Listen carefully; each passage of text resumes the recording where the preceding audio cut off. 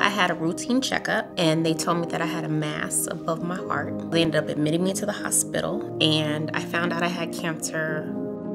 There was definitely times where I don't want to say that I wanted to die, but giving up, being stuck in my head, I don't think I realized how bad of laying in the bed every day was for me.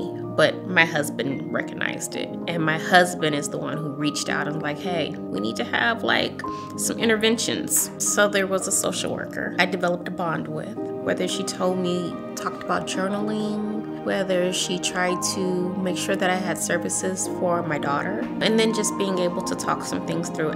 Those conversations were really helpful for me with somebody who's trained dealing with someone who's going through a crisis, I think that's important. You have to treat the whole body. You can't just treat the ailment.